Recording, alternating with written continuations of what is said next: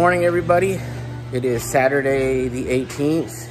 Uh, spent a long night last night working on the 66, but today we have Lunchy's car cruise, and so I got some maintenance to do on the black Mustang.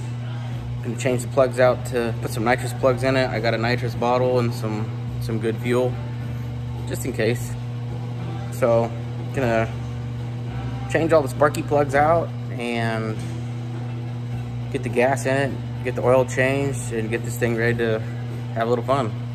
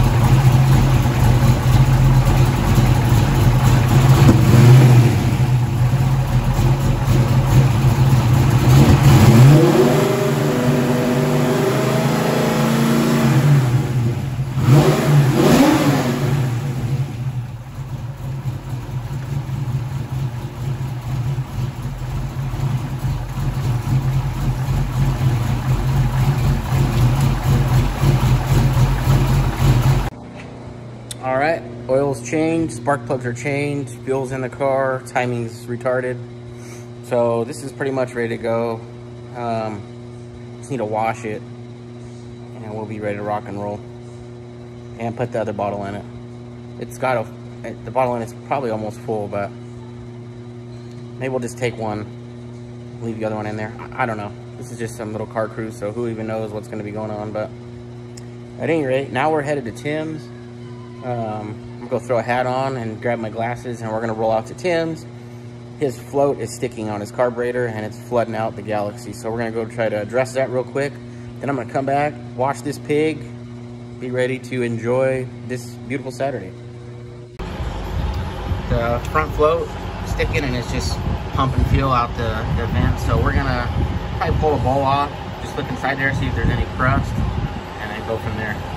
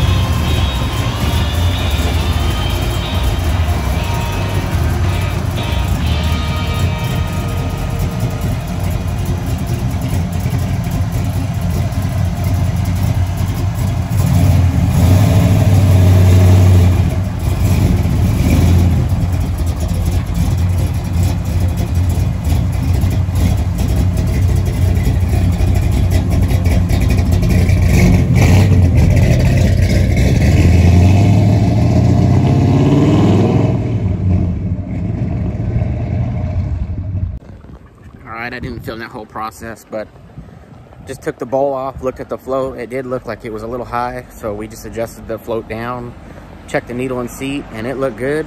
Didn't look like it had any shit in it. Neither did the jet, so Tim just took it for a drive. We'll see what happens. He said fuel was just pouring out of that front vent earlier today, so I think we might have it fixed.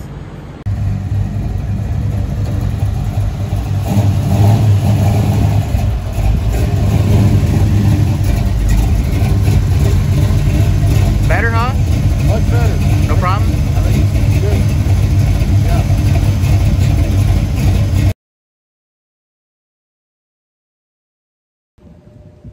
All right, Tim's here, Billy's here, Jay Ford's here, and we're getting ready to roll out.